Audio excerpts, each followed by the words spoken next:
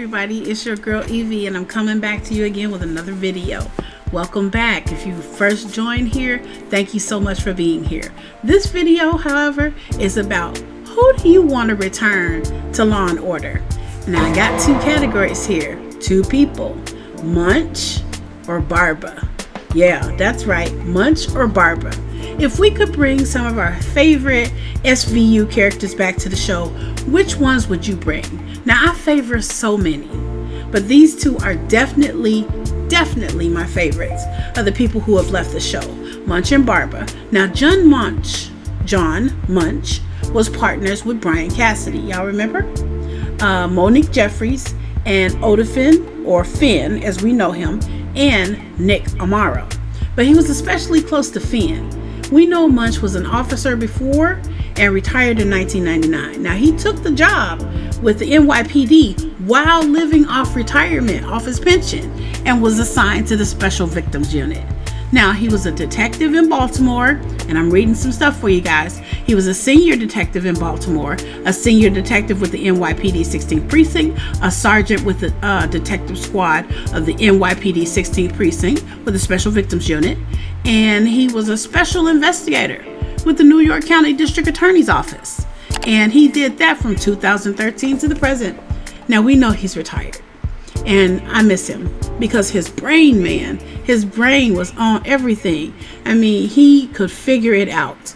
He was a great investigator. And I feel like the SVU needs another great investigator. Like Kat is on that path, but she's not quite there yet. So that's why I say I, I think they need another great investigator. Now, he did take some temporary assignments. He was an acting commanding officer. He was an acting commanding officer with the Special uh, Victims Unit. And then he was a sergeant. So, you know, he came a long way.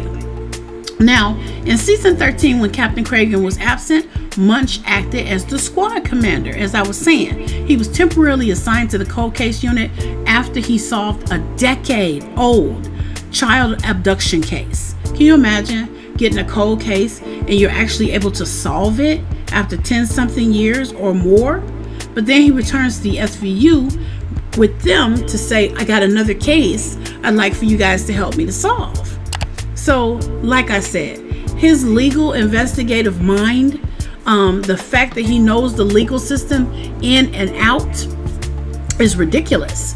Um, I'm steady looking at my candle here. I love this candle. The smell of lemon. Oh my gosh. Um, anyway, getting back to what I was saying. Sorry about that, guys. I got distracted. Let's stay focused. Now, on the other hand, we got Rafael Barba.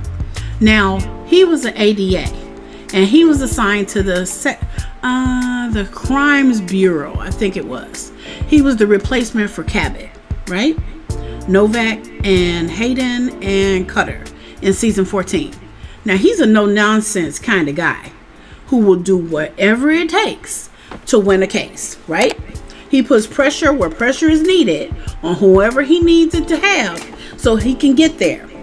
Now, he's meticulous, he's careful, he's rational, he's to the point, and he's helped SVU win many, many cases. And he was intricate in doing so. And he's successful. Sorry, guys. Hmm. Gatorade. Anyway, like I was saying, he was such a good part of the team. And sometimes he lacked compassion, but it wasn't because he wasn't a compassionate person. It's just he knew the legal ins and outs of the legal system and he knew what he needed to do to be successful. He knew what he needed to do in order to win. And sometimes that would come across as abrasive or less compassionate. And sometimes him and Olivia would get into it about that. But Barba's a sweet guy. We know that because we've seen him now. And it's interesting because the reason why he left his position after 21 years of working as a prosecutor was due to just that his compassion. Now, in 2018, Barbara turned the life support off of a baby boy who was suffering terribly from MDDS. Now, it left the child brain dead, and the machinery was the only thing that was keeping this baby alive. And he would have been required to keep him that way for the rest of his life or to maintain life because basically he was already gone. But when he did that, with his compassion for this child and the fact that this child should just go on to Jesus, you know, he was subsequently charged with second degree murder. He even had to hire an attorney to represent him. Now, he was eventually acquitted of murder and exonerated, but it left him hurt and traumatized, and that's why he resigned.